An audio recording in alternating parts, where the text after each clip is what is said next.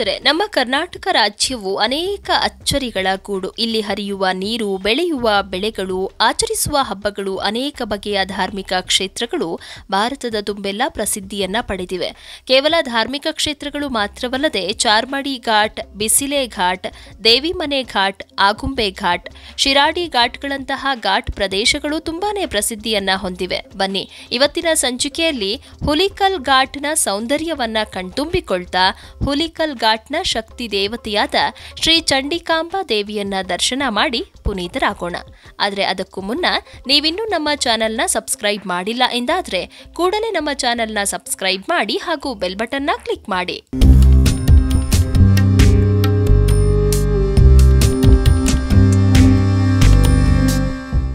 ಘಾಟ್ ಎಂದೇ ಖ್ಯಾತವಾಗಿರುವ ಬಾಳೆಬರ ಘಾಟಿನಲ್ಲಿ ದಟ್ಟವಾದ ಅರಣ್ಯ ಪ್ರದೇಶವಿದ್ದು, ಈ ಅರಣ್ಯ ಪ್ರದೇಶದ ಅಧಿದೇವತೆಯಾಗಿ ಚಂಡಿಕಾಂಬಾ ದೇವಿಯು ಪೂಜಿಸಲ್ಪಡ್ತಾ ಇದ್ದಾಳೆ. ಚಂಡಿಕಾದೇವಿ ನೆಲೆಸಿರುವ ತಾಣವನ್ನ ಚಂಡಿಕಾವನ ಎಂದು ಕರೆಯಲಾಗ್ತಾ ಇದ್ದು, ದೇವಾಲಯದ ಸಮೀಪದಲ್ಲಿಯೇ ಬಾಳೆಬರ ಜಲಪಾತವು ಸ್ವಚ್ಛಂದವಾಗಿ ದುಮ್ಮಿಕ್ಕುತ್ತಿದೆ. ಚಂಡಿಕಾಂಬಾ ದೇವಿ ದೇವಾಲಯವು ಗೋಪುರ, ಗರ್ಭಗೃಹ, ಪ್ರದಕ್ಷಿಣಾ ಪಥಗಳನ್ನ ಒಳಗೊಂಡಿದ್ದು, ಆಲಯದ ಗರ್ಭಗುಡಿಯಲ್ಲಿ ಚಂಡಿಕಾಂಬಾ ದೇವಿಯು ಆಸೀನಳಾಗಿ ಬೇಡಿ ಬಂದ ಭಕ್ತರನ್ನ ಹರಸುತ್ತಿದ್ದಾಳೆ. ಬಾಳೆಬರ ಘಾಟ್ನ ಆರಂಭದಲ್ಲಿಯೇ ಈ ದೇವಾಲಯ ಇರೋದ್ರಿಂದ ನಿತ್ಯ ಸಾವಿರಾರು ಭಕ್ತಾದಿಗಳು ಚಂಡಿಕಾಂಬಾ ದೇವಿಯ ದರ್ಶನವನ್ನ ಮಾಡಿ ಪ್ರಯಾಣವನ್ನ ಮುಂದುವರಿಸುತ್ತಾರೆ ಈ ದೇವಸ್ಥಾನಕ್ಕೆ ಬಂದು ಚಂಡಿಕಾಂಬಾ ದೇವಿಯನ್ನ ಪ್ರಾರ್ಥನೆ ಮಾಡಿ ದೇವಿಗೆ ಕಾಣಿಕೆಯನ್ನ ಹಾಕಿ ವಾಹನಗಳಿಗೆ ಕುಂಕುಮವನ್ನ ಹಚ್ಚಿಸಿಕೊಂಡು ಹೋಗೋದ್ರಿಂದ ಪ್ರಯಾಣದಲ್ಲಿ ಯಾವುದೇ ರೀತಿಯ ಅಪಘಾತಗಳು ಉಂಟಾಗೋದಿಲ್ಲ ಹಾಗೂ ಪ್ರಯಾಣವೂ ಸುಖಕರವಾಗಿರುತ್ತೆ ಅನ್ನೋ ನಂಬಿಕೆ ಇದ್ದು ಈ ದೇವಿಯನ್ನ ಭಕ್ತಿಯಿಂದ ಬೇಡಿದ್ರೆ ಸಕಲ ಇಷ್ಟಾರ್ಥಗಳು ಸಿದ್ಧಿ ಆಗುತ್ತೆಂಬ ಪ್ರತೀತಿ ಕೂಡ ಇದೆ. ಅಲ್ಲದೆ ದೇವಿಯ ಬಳಿ ಯಕ್ಷಗಾನವನ್ನ ಮಾಡಿಸ್ತೀವಿ ಅಂತ ಹರಕೆಯನ್ನ ಹೊತ್ತುಕೊಂಡ್ರೆ ಎಷ್ಟೇ ಕಷ್ಟಕರವಾದ ಸಮಸ್ಯೆಗಳು ಇದ್ರೂ ಅವು ದೂರವಾಗುತ್ತೆ ಎಂದು ಹೇಳಲಾಗುತ್ತೆ. ಹೀಗಾಗಿಯೇ ಪ್ರತಿ ವರ್ಷ ಈ ಕ್ಷೇತ್ರದಲ್ಲಿ ಜಾತ್ರೆ ಸಮಯದಲ್ಲಿ ಹರಕೆಯ ಯಕ್ಷಗಾನವನ್ನ ಭಕ್ತಾದಿಗಳು ಮಾಡಿಸಿ ಧನ್ಯರಾಗ್ತಾರೆ.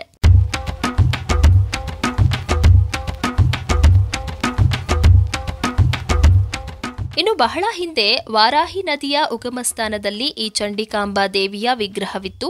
ಆದರೆ ವಾರಾಹಿ ನದಿಗೆ ಚಕ್ರ ಅಣೆಕಟ್ಟನ್ನ ಕಟ್ಟುವಾಗ ಚಂಡಿಕಾಂಬಾ ದೇವಿಯ ವಿಗ್ರಹವನ್ನ ಈ ಬಾಳೆಬರೆ ಘಾಟ್ ಇರುವ ಸ್ಥಳಕ್ಕೆ ಸ್ಥಳಾಂತರಿಸಲಾಯಿತು.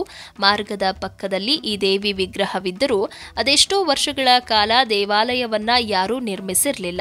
ಸುಮಾರು ಎಪ್ಪತ್ತು ವರ್ಷಗಳ ಹಿಂದೆ ಕೇರಳ ಮೂಲದ ಕೃಷ್ಣ ನಂಬಿಯಾರ್ ಅವರು ಈ ಮಾರ್ಗದಲ್ಲಿ ಸಂಚರಿಸುವಾಗ ಅವರು ವಿಶ್ರಾಂತಿಗೆ ಎಂದು ಗಾಡಿಯನ್ನ ನಿಲ್ಲಿಸಿ ಮಲಗಿಕೊಂಡಿದ್ದಾಗ ಚಂಡಿಕಾಂಬಾ ದೇವಿಯು ಸ್ತ್ರೀ ರೂಪದಲ್ಲಿ ಕಾಣಿಸಿಕೊಂಡು ಇಲ್ಲಿರುವ ಚಂಡಿಕಾಂಬಾ ದೇವಿಯು ಅಪಾರ ಶಕ್ತಿವಂತಳು, ನೀನು ಈ ದೇವಿಗೆ ಗುಡಿಯೊಂದನ್ನ ನಿರ್ಮಿಸು, ನಿನಗೆ ಸಕಲವೂ ಒಳ್ಳೆಯದಾಗತ್ತೆ ಎಂದು ಹೇಳಿ ಹೋದಳಂತೆ.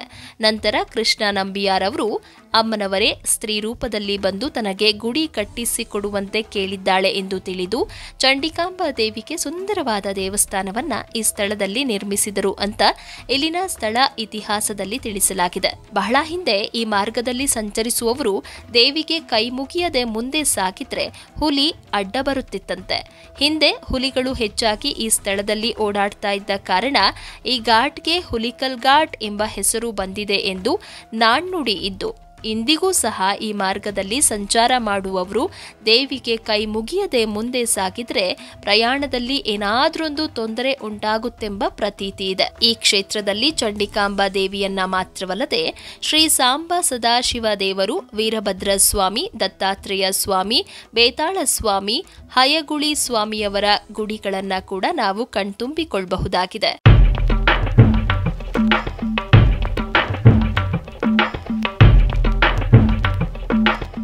ಪ್ರತಿ ವರ್ಷ ವೈಶಾಖ ಶುದ್ಧ ಅಕ್ಷಯ ತದಿಗೆಯಂದು ಚಂಡಿಕಾಂಬಾ ದೇವಿಯ ಜಾತ್ರಾ ಮಹೋತ್ಸವವನ್ನ ಇಲ್ಲಿ ಅದ್ದೂರಿಯಾಗಿ ಆಚರಿಸಲಾಗುತ್ತೆ.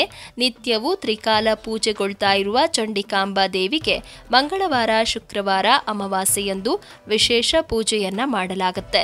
ನವರಾತ್ರಿ ಸಮಯದಲ್ಲಿ ದೇಗುಲವನ್ನ ದೀಪಾಲಂಕಾರಗಳಿಂದ ಶೃಂಗರಿಸಿ ದೇವಿಗೆ ಪೂಜೆಯನ್ನ ಮಾಡಲಾಗುತ್ತೆ. ನಿತ್ಯ ಬೆಳಗ್ಗೆ ಏಳು ಗಂಟೆಯಿಂದ ಮಧ್ಯಾಹ್ನ ಒಂದು ಮೂವತ್ತರವರೆಗೆ ಸಾಯಂಕಾಲ ಐದು ಗಂಟೆಯಿಂದ ರಾತ್ರಿ ಎಂಟು ಮೂವತ್ತರವರೆಗೂ ಶ್ರೀ ಚಂಡಿಕಾಂಬ ದೇವಿಯನ್ನ ಭಕ್ತಾದಿಗಳು ದರ್ಶನ ಮಾಡಬಹುದಾಗಿದ್ದು, ಇಲ್ಲಿಗೆ ಭೇಟಿ ನೀಡುವ ಭಕ್ತಾದಿಗಳು ಸರ್ವಾಲಂಕಾರ ಪೂಜೆ, ಸಹಸ್ರನಾಮಾರ್ಚನೆ, ಕುಂಕುಮಾರ್ಚನೆ, ಪಾಯಸ ನೈವೇದ್ಯ, ಹಾಲು, ಪರಮಾನ್ನ ನೈವೇದ್ಯ, ಪಂಚಾಮೃತ ಅಭಿಷೇಕ, ಕ್ಷೀರಾಭಿಷೇಕ, ಎಳನೀರು ಅಭಿಷೇಕ ಸೇವೆಗಳನ್ನು ಮಾಡಿಸಬಹುದಾಗಿದೆ. ಇಲ್ಲಿಗೆ ಭೇಟಿ ನೀಡುವ ಭಕ್ತಾದಿಗಳಿಗೆ ಮಧ್ಯಾಹ್ನದ ಸಮಯದಲ್ಲಿ ಅನ್ನದಾಸೋಹದ ವ್ಯವಸ್ಥೆಯನ್ನ ಕೂಡ ಕಲ್ಪಿಸಲಾಗಿದೆ.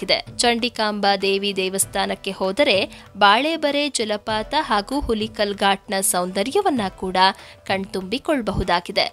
ಚಂಡಿಕಾಂಬಾ ದೇವಿ ನೆಲೆಸಿರುವ ಈ ಪುಣ್ಯ ಕ್ಷೇತ್ರವು ಶಿವಮೊಗ್ಗ ಜಿಲ್ಲೆಯ ಹುಲಿಕಲ್ ಘಾಟ್ ಎಂಬ ಪ್ರದೇಶದಲ್ಲಿದೆ. ಶಿವಮೊಗ್ಗ ಹಾಗೂ ಕುಂದಾಪುರವನ್ನ ಸಂಪರ್ಕಿಸುವ ಹೆದ್ದಾರಿಯಾದ ಹುಲಿಕಲ್ ಘಾಟ್ ಶ್ರೀ ಚಂಡಿಕಾಂಬಾ ದೇವಿಯ ಮಹಿಮೆಯಿಂದಾಗಿ ಇಂದು ಹೆಚ್ಚು ಖ್ಯಾತವಾಗಿದೆ. ಸಾಧ್ಯವಾದ್ರೆ ಜೀವಮಾನದಲ್ಲಿ ನೀವು ಒಮ್ಮೆ ಹುಲಿಕಲ್ ಘಾಟನ್ನ ನೋಡ್ಕೊಂಡು ಚಂಡಿಕಾಂಬಾ ದೇವಿಯ ದರ್ಶನ ಮಾಡಿ ಬನ್ನಿ ಅಂತ ಹೇಳ್ತಾ ಇವತ್ತಿನ ಧರ್ಮದೇಗುಲ ದರ್ಶನ ಕಾರ್ಯಕ್ರಮವನ್ನ ಮುಗಿಸ್ತಾ ಇದ್ದೇವೆ. ವೀಕ್ಷಕರ ಗಮನಕ್ಕೆ ನಿಮ್ಮ ಅನಿಸಿಕೆ ಅಥವಾ ಅಭಿಪ್ರಾಯಗಳನ್ನು ಕಾಮೆಂಟ್ ಮುಖಾಂತರ ವ್ಯಕ್ತಪಡಿಸಬಹುದು ಹಾಗೂ ನಿಮ್ಮ ಸುತ್ತಮುತ್ತ ಇದೇ ತರಹದ ಅದ್ಭುತ ದೇವಾಲಯಗಳಿದ್ದರೆ ಅದರ ಸಂಪೂರ್ಣ ಮಾಹಿತಿಗಳನ್ನು ನಮಗೆ ಇಮೇಲ್ ಮುಖಾಂತರ ತಿಳಿಸಬಹುದು.